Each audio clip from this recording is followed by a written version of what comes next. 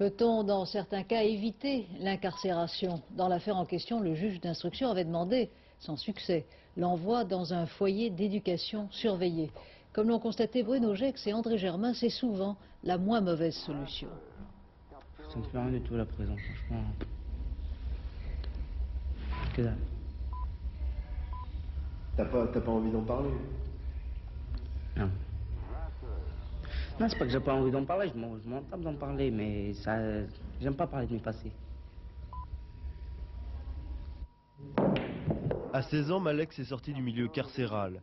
Extrait de son environnement familial, il a été placé ici, il y a un mois, par le juge pour enfants, dans ce foyer de Pontoise de l'éducation surveillée, ultime recours et dernier maillon de la chaîne, après la DAS. C'est vrai que la prison, le milieu carcéral, euh,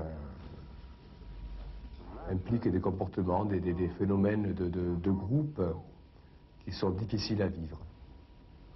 Il est vrai aussi que la prison peut être une menace, une épée de Damoclès. Et à partir du moment où le jeune a connu la prison, il aura un statut de délinquant. Un nouveau départ, c'est ce qu'on propose ici à tous les jeunes du foyer.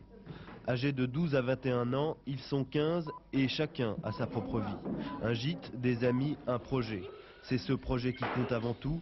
L'école, le travail, un passage obligatoire pour la réinsertion, mais toujours dans la convivialité. Quand on a des problèmes, ils sont là pour nous soutenir. Toujours, Vous en parlez toujours. Quel genre de problème Familiaux, euh, scolaires, euh, tous les problèmes. Le fait d'être ici, Ça m'a ouvert beaucoup de portes. lesquels?